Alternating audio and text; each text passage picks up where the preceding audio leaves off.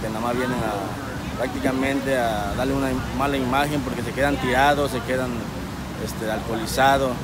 Entonces ya la familia, ya por temor, ya no vienen a esta área a disfrutar lo que es prácticamente el portal Maya.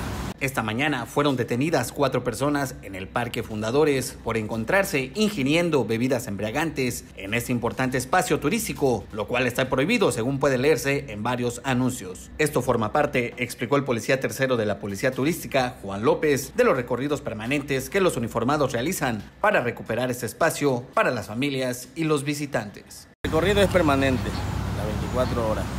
Este, lo que se evita de que recuperar el área de esta zona para la familia, porque hay personas que la utilizan como área de cantina y están robando el espacio a la familia.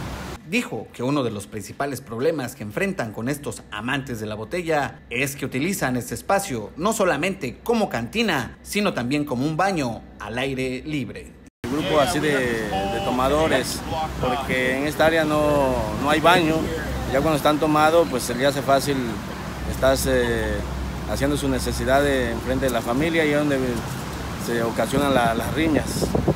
Y aparte dejan el poco de basura, no, limpian no limpian su área donde están consumiendo bebidas alcohólicas.